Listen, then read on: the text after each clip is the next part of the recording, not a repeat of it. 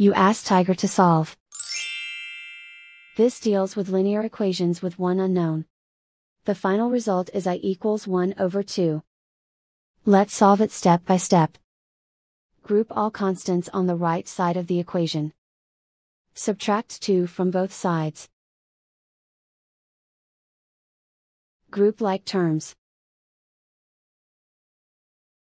Simplify the arithmetic.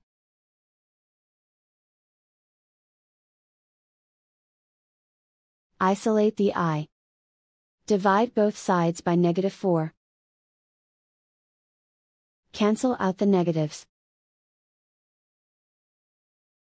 Simplify the fraction. Cancel out the negatives. Find the greatest common factor of the numerator and denominator.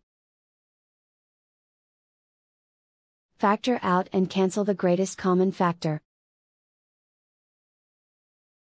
And so the final result is i equals 1 over 2.